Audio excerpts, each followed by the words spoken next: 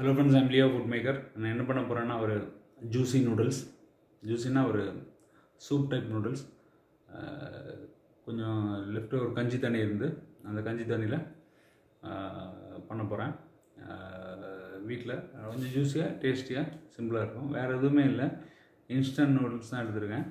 சரி இங்கே உள்ள ஒரு தோமியம்னு சொல்லிட்டு ஒரு பிராண்ட் ஒரு கடையில் கிடச்சிது. இந்த நூடுல்ஸும் அதோட இன்ஸ்டன்ட் பவுடரும் எக்கும் ஆனியன் டொமேட்டோ க்ரீன் சில்லி திரும்பி நம்ம ஒரு கருவேப்பிலை இவ்வளோ தான் சரியா நார்மல் ஆயில் விட்டு ஃபஸ்ட்டு வந்து நம்ம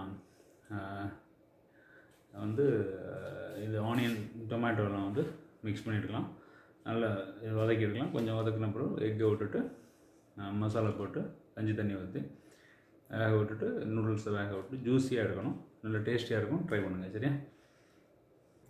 ஓகே ஃப்ரெண்ட்ஸ் இந்த பாத்திரத்தில் வந்து ஆயில் ஹீட் ஆகிடுச்சு அதில் வந்து அந்த தக்காளி எல்லாமே சேர்த்து தான் போட போகிறேன் போட்டு கொஞ்சம் ஸ்மாஷ் பண்ணி விடணும். சரியா? இது வந்து ஆக்சுவலி ஸ்ட்ரீட் ஃபுட் சரியா? பேச்சுலர்ஸ் நிறைய தெரியும் சரி இதை வந்து கொஞ்சம் ஸ்மாஷ் பண்ணிடலாம் சரியா? இதில் என்ன பண்ணலாம்? நீங்கள் வந்து அந்த கஞ்சி தண்ணி ஊற்றிக்கலாம் சரியா?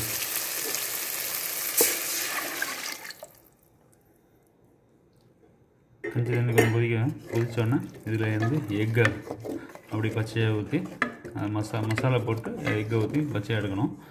சரியா? இது கொஞ்சம் கொதிக்கட்டும். ஓகே ஃப்ரெண்ட்ஸ் இதில் வந்து நம்ம அந்த மசாலாவை போட்டுக்கலாம்.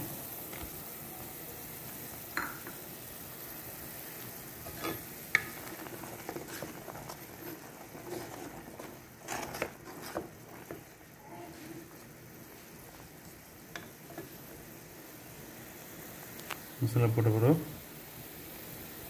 அந்த எக்கு அது பச்சை ஊற்றிக்கலாம்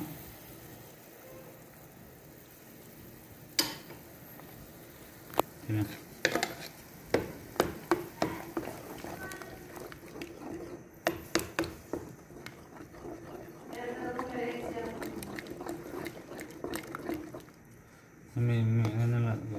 கொஞ்சம் கொதிக்கட்டும். கொதித்த பிறகு நம்ம நூடுல்ஸ் ஆட் பண்ணி கொஞ்சம் கூட தண்ணி விட்டு பண்ணோம். இதில் வந்து நூடுல்ஸ் போட்டுக்கலாம் சரியா?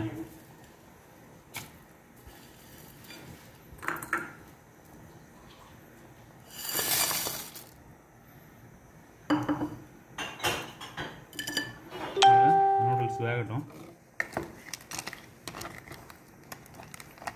தேவையான உங்களுக்கு ஸ்பைஸ் இப்போ ஜாஸ்தி தேவைன்னு வச்சுக்கோங்களேன். சரி சில்லி பவுடர் தான் போட்டுக்கோங்க. இது வந்து இப்படி தான் நார்மலாக ஜூஸியாக இருந்தால் சூப்பாக இருந்தால் நல்லா டேஸ்ட்டாக இருக்கும் அப்படியே. சரி அது ரொம்ப தண்ணி கண்டு இது பண்ணண்டாம். நூடுல்ஸ் வந்து கொஞ்சம் தண்ணி ஆட் பண்ணிக்கங்க தேவைக்கு. கஞ்சி தண்ணி தான் மெயினு சரி நல்லா டேஸ்ட்டாக இருக்கும். ஒரு ஸ்ட்ரீட் ஃபுட்டு அவ்வளோ ஃப்ரெண்ட்ஸ் நல்லா டேஸ்ட்டாக இருக்கும். ட்ரை பண்ணுங்கள் அப்படியே பிளேட்டில் மாற்றிக்கலாம் சரியா? அவ்வளோதான் ஃப்ரெண்ட்ஸ் இது சூப் மாதிரி. நம்ம ஒரு கஞ்சின்னு சொல்லுவோம் இல்லையா? அதே மாதிரி. நல்லா டேஸ்ட்டாக இருக்கும். ட்ரை பண்ணுங்கள் okay Okay friends, like, subscribe and share. Bye, see you.